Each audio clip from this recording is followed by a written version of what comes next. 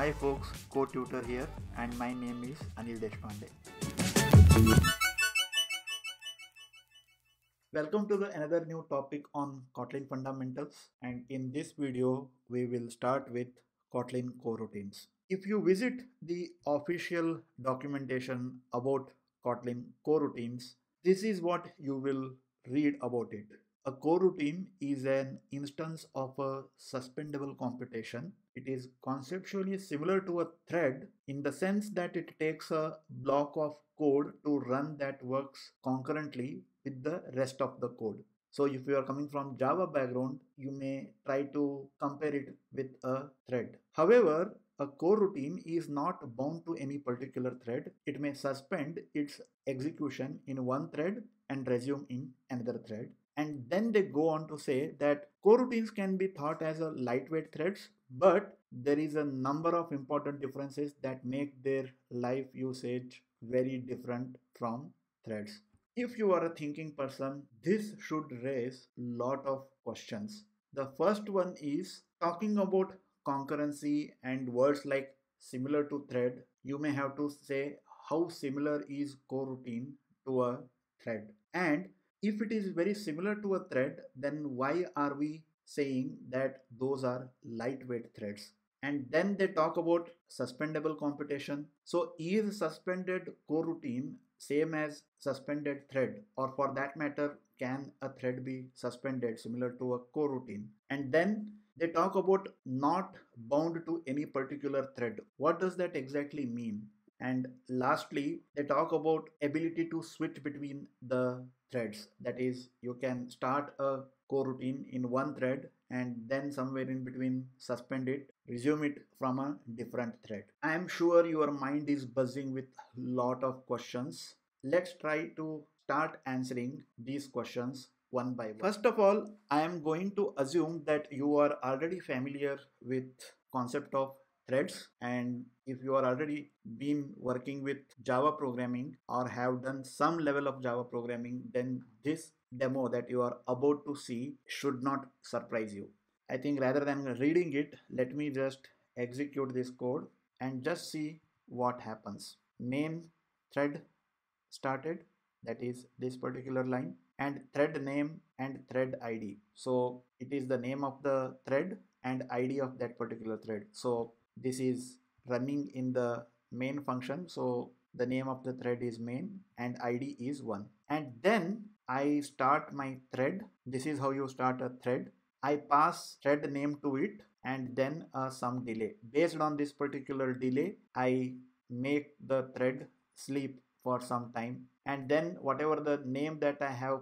passed that will be used to display the name of the thread. And if you see here, thread name inside thread is not main. It is long running task 1 and ID is not 1, it is 21. So whatever this code that you are seeing here this was not running on the main thread. It was running on another thread which was long running task. That's the name that we gave. And then this is the id and main ended was executed even before the worker thread started so basically your thread kept on running long after the thread which had started it was already dead. So this is what async programming is all about. So let me start uh, another thread here, long running task 2 and let me put a different delay and if I run this one particular thread has a thread ID 21 another particular thread has a thread ID 22 so every time you are creating a thread it has a separate thread id if you are coming from java background this should not surprise you at all. You have been familiar with this. Now what we will do is we will write the exact same capability feature using coroutine so let me open this. Right now it is empty. I will split it so that i write the exact same thing. So this main is similar to the main function in kotlin. Main started current thread current thread id main ended. And if i run this right now no surprises. It's main and thread id is 1 we have not yet called the coroutine. So what we will do is we will start implementing the coroutine. If you don't understand any syntax as of now, it is perfectly fine. Just go along with what I am talking about. So inside this particular function, I want to do the long running task. So what I will do is copy paste these lines here because I would need it and then for i in 0 to 9 I will write a delay function and then whatever the amount of delay that you want to do. So this delay is similar to the sleep and if you observe here it is giving you a compilation error that is suspend function delay should be called only from a coroutine or another suspend function. So this is a type of function which is called as a suspend function and this can be called only inside a function which is also a suspend function. So right now it is a normal function. However, if I declare it as a suspend function, then the compilation error will go. And I will just remove this. Better way to do is write a import statement and then I want to print the same thing here remaining time left for current thread and then I want to print worker thread ended. I seem to be not using the core coroutine name because it looks unused. So just to make sure that it is all properly there, let me use it in printing the information. Now my coroutine is pretty much ready. This is a suspend function and this need to be invoked. Now what I can do is try to invoke this and pass some kind of a name here. Uh, let me call it as coroutine 1 and then let me put a delay. And if you see here uh, it says that suspend function long running task should only be called from a coroutine or another suspend function. So here what i will do is i will write run blocking and i will put this thing inside a async.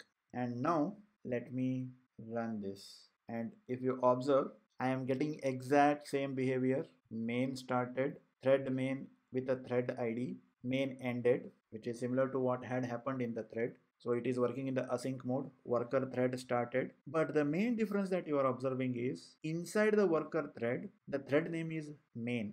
In the earlier case it was something else. And thread id is 1 and if you observe this the main difference that you will capture is the coroutine is also running on the main thread. It is not running on a separate thread. No matter how many suspend functions I invoke. Let me add another suspend function here and if I run this, this one is also having the same thread name and ID as the main and the second coroutine that also has the same thread name and ID. So that is one major difference between a coroutine and a thread. Every time you start a thread, it gets assigned a new thread, a new thread ID, but that is not the case with coroutine. However, there are some advanced ways in which you can make a coroutine execute in a separate thread, but we will talk about it in a much later part. But as of now, you can say that coroutines coroutines always run on the same thread as the main thread by default. In the next video, we will continue to explore coroutines in a detailed manner. So that brings us to the end of this particular video. Don't forget to like, comment, share the video and subscribe to the channel. Take care. Bye.